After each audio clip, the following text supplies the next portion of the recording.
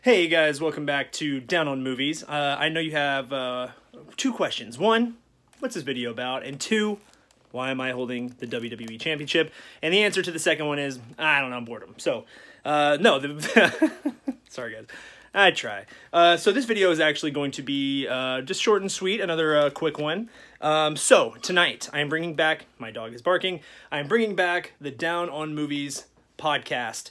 Um, I used to do them a long time ago. I have a few uh, different folders saved up from a long time ago. It's been years now.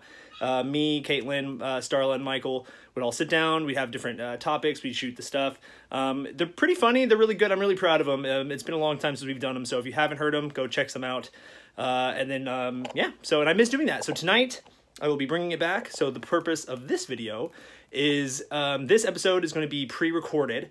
Um, so I'm, I, I'm trying to do some live and things like that. But this one I'm going to do record. Uh, but if you'd like to uh, ask any questions, maybe get some shout outs. Um, if you just have some things you want to talk about, anything movie related, comment on this video. Let me know any questions you have. Um, let's talk about the Justice League. Let's talk about all the new Blu-ray releases coming out, 4K releases.